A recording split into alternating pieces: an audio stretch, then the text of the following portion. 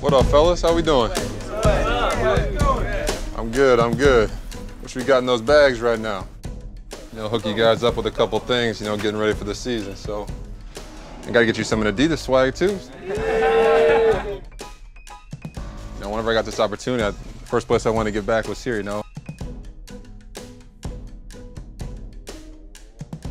Adversity happens, man. the biggest thing is just knowing that it's going to happen, man. You're going to fail, especially in, in, baseball or any sport, man. Even basketball, man. You're going to you're going to miss a lot of shots. You're going to strike out a lot. You're going to get out a lot, but uh, but learning from it. That's the biggest thing. You know, learn. You know, why did I strike out, or why did I ground out there? What did I do? You know, learn from it and then move on. That's the biggest thing, and what's helped me in my career was kind of having a short memory. You know, even if games I went over 4 4 Ks, you know, I can't take that into the next game. I just got to forget about it and be like, hey, it's a new day.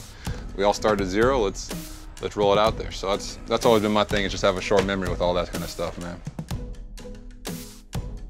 Throwing drills, a long toss, a lot. I play catch with a football, like all offseason like right now, all I'm doing is playing catch with a football. Um, even in the season, I'll take a football out there, you know, before like at one o'clock before the game and just toss it around. So just playing catch with a football, you know, long tossing every other day is just kind of something I've been doing for years just to get my arm stronger. And I like mixing it up too, man. I get I sometimes get tired of baseball, so throwing a football around a little bit, you know, kind of gives me that old feeling of being out there a little bit. So